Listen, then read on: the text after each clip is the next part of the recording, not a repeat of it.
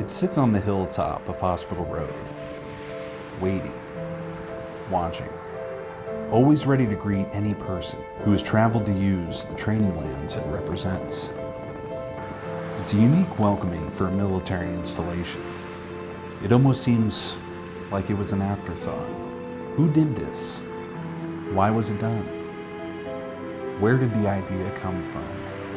The uh, quartermaster, the post quartermaster, once the uh, you know the post was activated, he uh, knew that these Italian POWs were artisans, so he recruited a couple of them to uh, carve the rock. So they moved it to where it is today, and and Lee Brio and a friend of his, you know, spent spent the entire summer uh, carving the rock. And we had a ball because we milked that uh, project for three months. We could have done it in three days. But we there. Let's let's stay here. There was people going by saying hello. It was bringing us drinks, you know.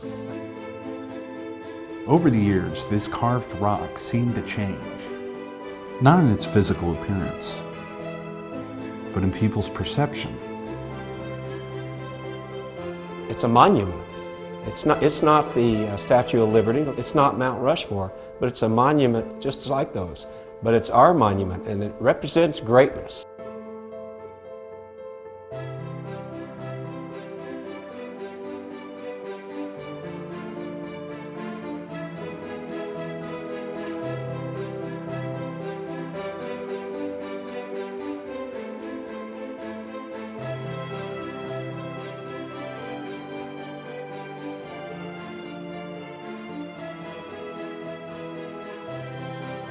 Is it just a monument?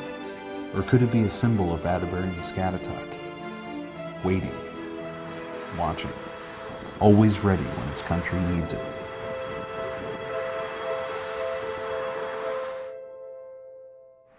Till next time, keep rocking, Camp Atterbury, okay?